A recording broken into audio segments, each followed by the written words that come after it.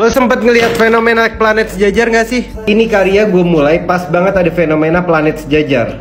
Makanya gue abadiin di atas karya ini. Ini tentang keindahan tanah Jawa dari Candi Borobudur, Prambanan, dan juga ada Candi Cetaan di sini.